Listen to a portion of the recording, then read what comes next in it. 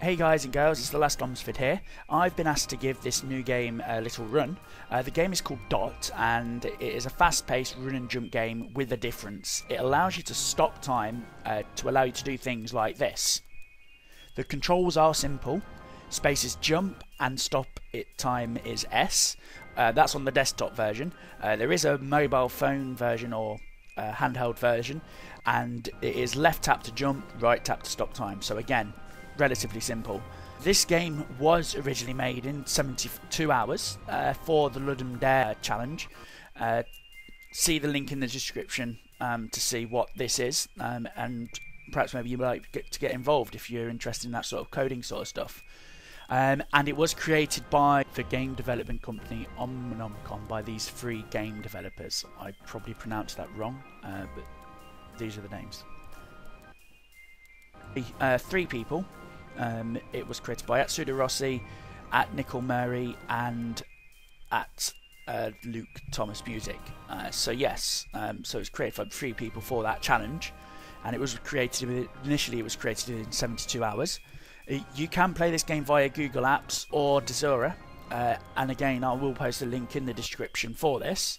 Uh, so what I wanted to do, I just want to show you a quick uh, run through a bit. Well, not a run through really.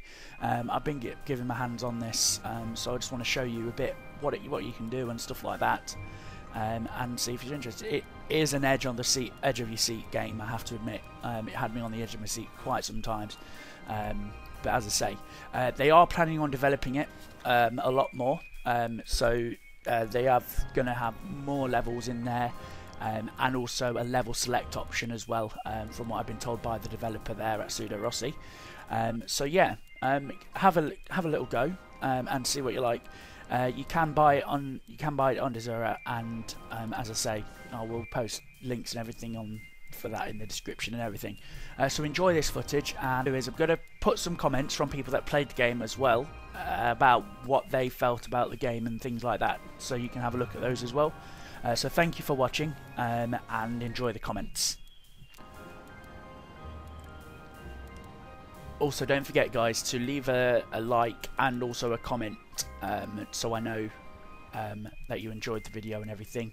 Um, and if you're interested in finding out more about the game, just uh, drop me a DM on Twitter or something like that, or a message on Twitter, um, and I can always put you into the right place. Uh, but I'm going to leave everything um, in the description anyway as well uh, for that. So yeah, um, I hope you enjoy it. Uh, uh, thank you for your